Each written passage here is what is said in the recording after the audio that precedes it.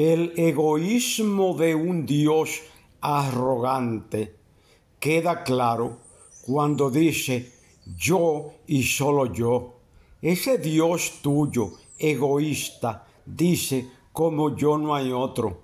Ese Dios egoísta tuyo dice yo soy el principio y el fin. Yo soy el alfa y la omega. Ese Dios arrogante y egoísta tuyo dice, sin mí no hay nada que pueda existir.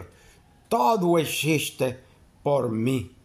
Cuánta arrogancia en un Dios que se cree el único.